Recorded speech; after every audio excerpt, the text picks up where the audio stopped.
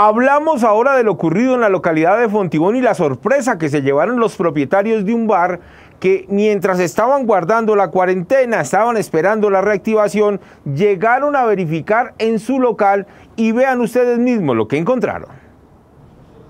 Mientras esperaban reactivar su negocio, los delincuentes lo desocuparon. Así quedó el bar ubicado en el barrio Montevideo en Fontibón. Los criminales esperaron la madrugada para ingresar y llevarse todo lo que encontraron.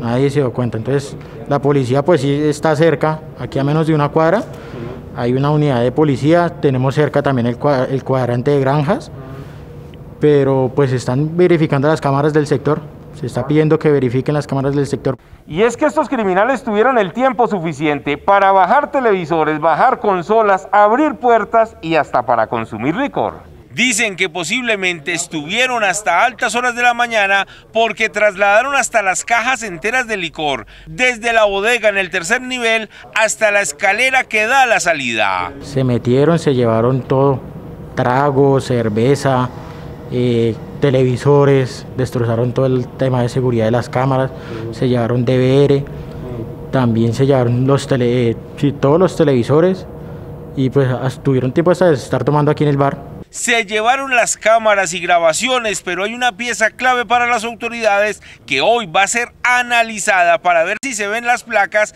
y los rostros de estos delincuentes. Se dice que el atraco puede superar los 250 millones de pesos. A pesar del ruido que posiblemente hicieron para romper las puertas, nadie vio nada y nadie escuchó nada.